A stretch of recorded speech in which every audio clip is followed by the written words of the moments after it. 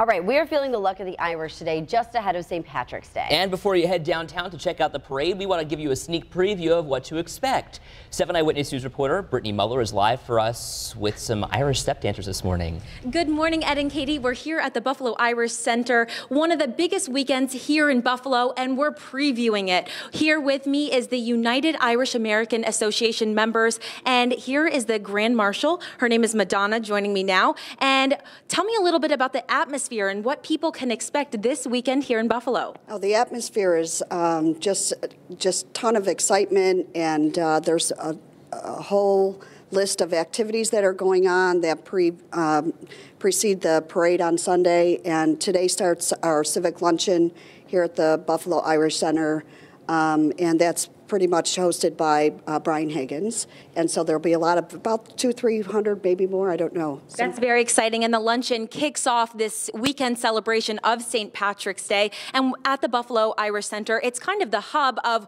where all of these activities are coming out of. And what's what else is to be expected? There's another parade on Saturday. Yes, sir. There's a neighborhood parade that they do down there in the second, down in the ward. And then our parade's on Sunday, and it's just a more family oriented and encompasses the whole area. Sure. And then you're going to be walking out uh, the front of the parade, and uh, who's going to be joining you?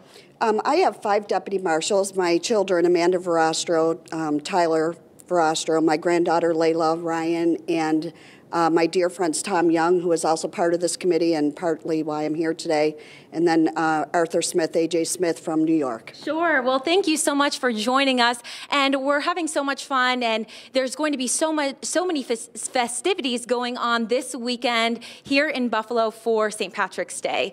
Brittany Muller, Seven Eyewitness News. Back to you, Ed and Katie. All right, Brittany. Yeah, a lot of fun this weekend. Hey